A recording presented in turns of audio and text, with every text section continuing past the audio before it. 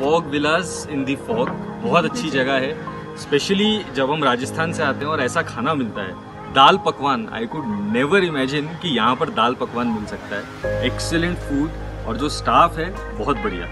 अंकुर? Fog में आके बिल्कुल घर जैसी फीलिंग आती है।